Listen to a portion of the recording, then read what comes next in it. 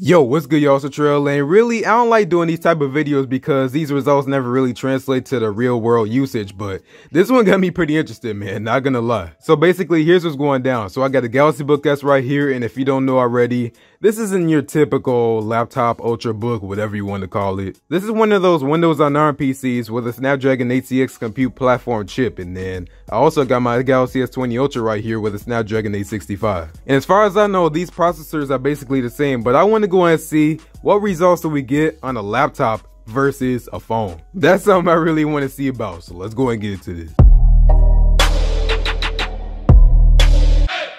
Alright, so yeah, you know the whole Windows on ARM thing already. You know we have the Surface Pro X, which I heard ain't really that good to be honest with you. Like I heard about the bad battery life and everything like that, but I got a Galaxy Book S over here on the Verizon service and I've been liking this thing. The only problem is and it ain't changed from the Surface Pro X is the apps, you know, the apps don't really got that much compatibility on here yet. It still needs some work, but I pretty much got like the basics here like Chrome and Galaxy Buds Manager, I got Microsoft Edge, I got Smart Switch, you know, stuff like that. But like I was telling y'all, the processors in these things ain't supposed to be that much different. And it's not like this is gonna be a straight up CPU to CPU comparison, like we're gonna be comparing Android and Windows real quick and see how the optimization is. So that's why I'm here, and I don't think anybody did this yet. So I got these things pretty similar, like this has a 1080p screen and I have this on 1080p right now. So I'll go over here to the display and you can see right there it's on 1080p. Just in case 1440p messes with the performance, I just equaled out the screens. But alright, let's go and actually start off by looking at what we got side by side here. I mean, even look at the base frequency area and over here where it says cluster 3. They're both at 2.84 gigahertz. Now, there's gonna be some differences, like this has 12 gigs of RAM and this has 8 gigs of RAM. But still, I think this is gonna be a pretty fun comparison, man. So that's pretty much it. Let's just go and get into this benchmark real quick. And I'm gonna do something real hood here. So I'm gonna go ahead and use my Galaxy Tab S6 book cover keyboard stand here because I don't got a stand here for my Galaxy S20 Ultra. And I'm going to use this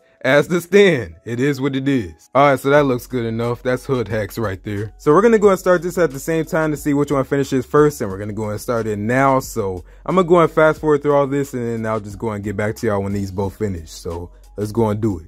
All right, definitely screwed that up. So let's go and do this now.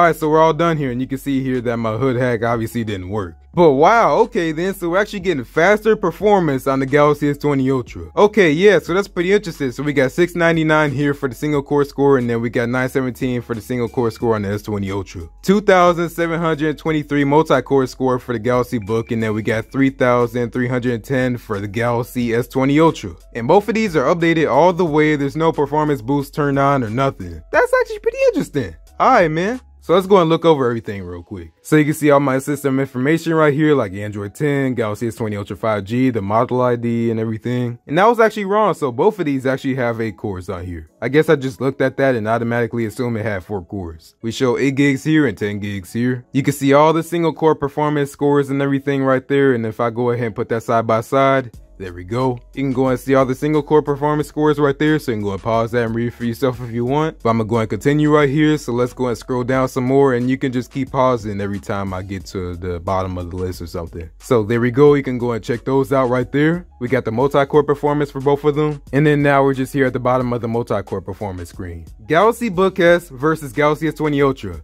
The S20 Ultra is faster. I did not expect that to be honest with y'all. Like I thought the Galaxy Book S was gonna be faster, but I guess not. Galaxy S20 Ultra beats Galaxy Book S. Your phone is faster than your laptop now. But that's where I'm to go and cut it y'all. So thanks for watching. If you like this video, go and give this video a like. And if you really liked it, go and subscribe. But go and follow me on my social media at Tech on Instagram and Twitter and Facebook. But I'm most active on Instagram and Twitter. And thanks for watching. I'll see you on the next one. This is pretty fun, man. Go and let me know if I should go and do more of these. But yeah, so thanks for watching. I'll see you on the next one. And stay safe, stay inside. You already know that. And um, yeah, okay, peace out. And just for fun, I thought I'd throw in the Galaxy Z Flip Snapdragon 855 Plus with its 8 gigs of RAM, just like the Galaxy Book S. And it looks like the single core score is actually lower on the Galaxy Book S, but the multi-core score is actually higher, so that's pretty interesting. And then you can see right here, they both still have 8 cores and everything, like nothing changed there.